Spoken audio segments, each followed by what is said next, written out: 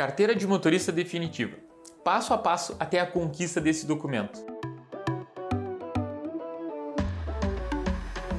Olá, bem-vindo ao canal do Dr. Multos. No vídeo de hoje eu vou falar sobre os principais aspectos relacionados à CNH definitiva, aquela que todo condutor recebe após cumprir o seu período com a CNH provisória. Mas, afinal, você sabe o que muda nessa transição de documentos? E é sobre isso que eu vou falar a partir de agora.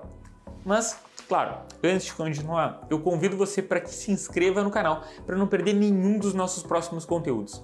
Lembre-se que um motorista bem informado é a chave para construirmos um trânsito mais seguro. Antes de conquistar a habilitação definitiva, o condutor precisa provar que está apto a receber esse importante documento.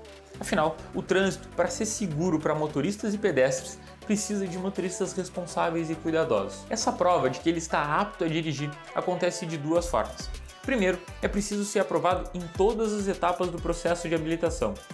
Logo, o futuro motorista precisa realizar os exames médicos, as aulas e provas teóricas e práticas, e, claro, ser aprovado em tudo para poder conquistar a tão desejada CNH. A segunda prova de que o motorista está pronto para arcar com as responsabilidades do trânsito acontece logo depois de ser aprovado na primeira habilitação, quando ele conquista a CNH provisória ou a conhecida permissão para dirigir, a PPD. Isso acontece porque enquanto o condutor está com esse documento, ele precisa ter cuidados redobrados no trânsito. E eu vou explicar por quê. A CNH provisória permanece com o motorista pelo prazo de 12 meses, um ano.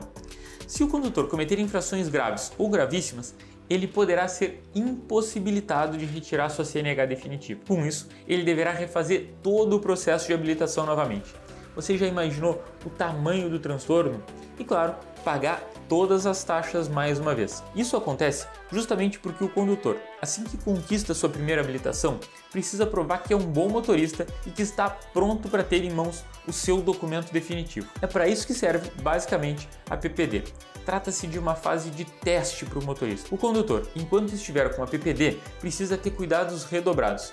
Isso porque a CNH provisória não há o sistema de pontos como funciona a CNH definitiva. Conforme estipula o Código de Trânsito, somente poderá ter a CNH definitiva o condutor que, ao final do período de um ano de PPD, não tiver sido reincidente em infrações de natureza média ou não tiver cometido infração grave ou gravíssima. Isso significa que, se você cometer a mesma infração média duas vezes ou qualquer infração grave ou gravíssima, não poderá solicitar a sua CNH definitiva. Essa é a diferença que faz com que a CNH provisória exija mais cuidados do condutor. Caso ele não cumpra essas estipulações, ele deverá realizar todo o processo de habilitação novamente ou seja, a habilitação será cancelada e ele terá que voltar à estaca zero, passar pelos exames médicos, pelas aulas teóricas e práticas e também pelas respectivas provas. Além desse enorme transtorno, ele ainda terá que desembolsar todo o dinheiro já gasto pela segunda vez. Por isso, é melhor manter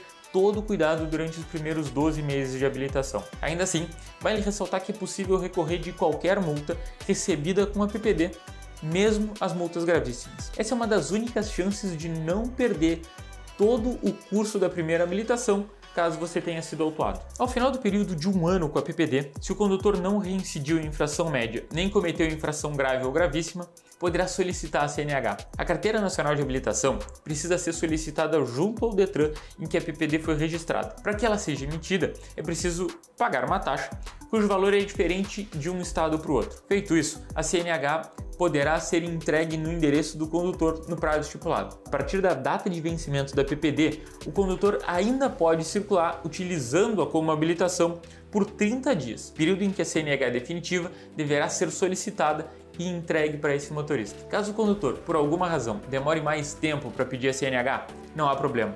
No entanto, ele não poderá dirigir após esses 30 dias do vencimento. A CNH definitiva pode ser solicitada, portanto, a qualquer momento passados os 12 meses com a provisória. Mas claro, vale lembrar que não será possível dirigir se ela não estiver mais na validade, ou seja, vencida por mais de 30 dias. Eu espero que você tenha tirado todas as suas dúvidas sobre a transição da CNH provisória para a CNH definitiva com esse vídeo de hoje. Mas claro, se, se ficou algum questionamento, basta deixar um comentário aqui abaixo. Vai ser um prazer poder ajudar e tirar todas as suas dúvidas. Um abraço e até o próximo vídeo.